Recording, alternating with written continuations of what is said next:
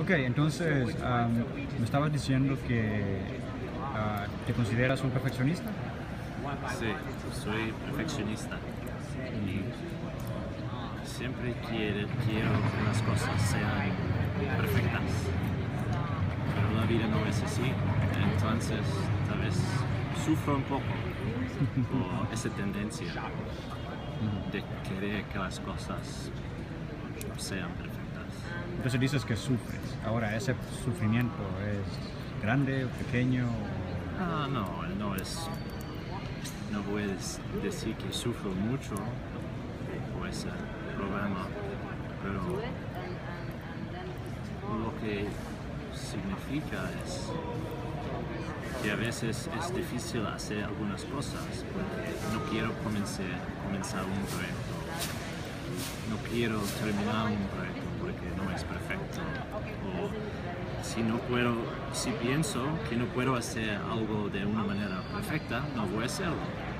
Si, si no voy a ser la mejor persona en esa actividad, no quiero hacerlo. O algo así.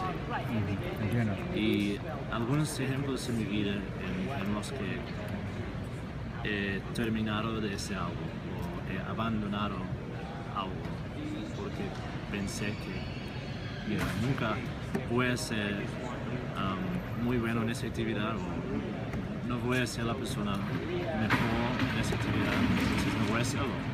Ajá. Pero es más importante para ti hacer muy bien la actividad o ser el mejor. Sí, no. Eso es el problema. Es el perfeccionismo dice que tienes, tienes que ser perfecto, pero en realidad entiendo que eso no es necesario.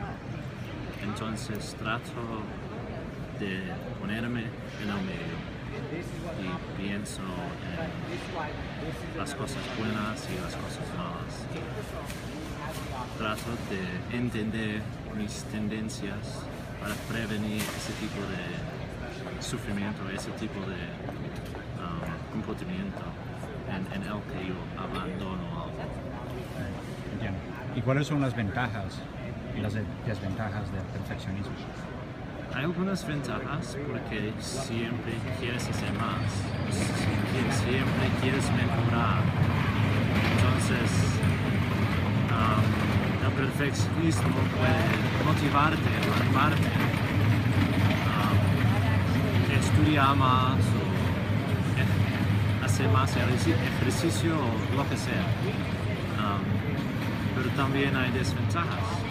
Porque, por ejemplo, con mi español, cuando cometo un error, tengo una reacción y pienso, "Ah, otra vez, otra vez, no puedo hablar español perfectamente, entonces no voy a hablarlo. Sí, y eso no es, eso no es algo útil, no es útil pensar así. Es más útil pensar de una manera más realista. Ok, no puedo hablar español perfectamente, pero puedo hablarlo, puedo comunicarme, puedo decir algunas cosas. Y sí, siempre voy a cometer errores, pero no soy hablante nativo y no es una sorpresa um, que cometa errores de vez en. Pero una persona perfeccionista piensa, ok, si, si no voy a ser el mejor hablante de español, no, no voy a decir nada. Voy a, ah, so- solo voy a hablar en mi idioma nativo. Entiendo. Pero si eres un perfeccionista que tal vez acepta los errores, ¿crees que sería mejor eso? Sí, yo he mejorado mucho en ese sentido. Entonces ahora puedo um, tolerar algún, algún nivel de incomodidad. ¿Cómo se dice? Discomfort. ¿Discomfort? Sí, Digamos, ah, incomodidad. incomodidad, sí. Um, pero en el pasado tenía muchos problemas con eso porque siempre quería hacer las cosas perfectas en cuanto a mis estudios, mis proyectos, mis ensayos.